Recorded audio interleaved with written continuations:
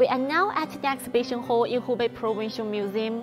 Today the museum is closed to visitors, but we are fortunate to have special access to see how the relics are packed and transported. The team is carefully moving a 2,400-year-old relic from the display case. Where are they taking it?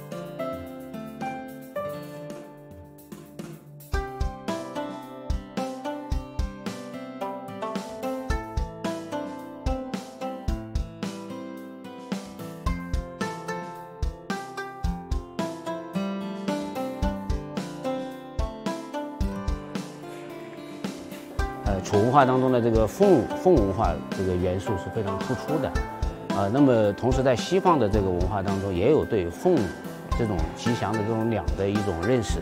那么我们这一次展览呢，到美国去呢，就是面对海海外的这种观众，那么用凤凰这种呃意象这种鸟吉祥鸟来表示，可以有效的拉近这个东西方观众的这种这种文化的差异。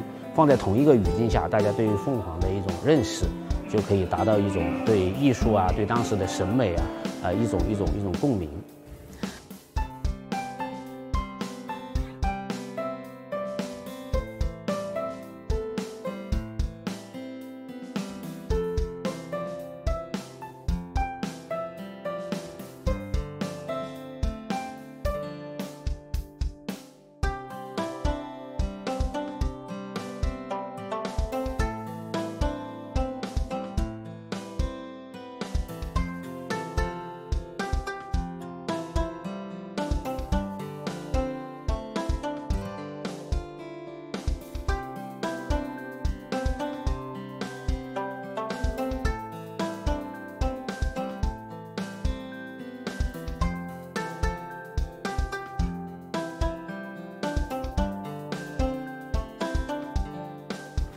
We are thrilled to see that the Outbound exhibition is just around the corner. I hope this exhibition is successful and more museum exchanges can help enhance cultural understanding between United States and China.